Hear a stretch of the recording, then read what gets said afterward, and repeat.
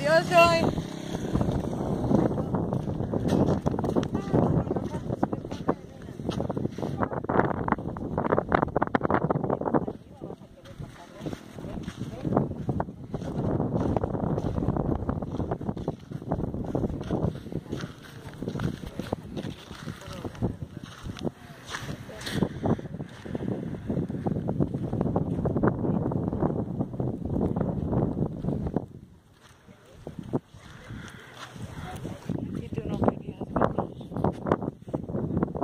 Y lo que se ve allá en el fondo es una fábrica de sal y ahí todo eso es una montañota de sal.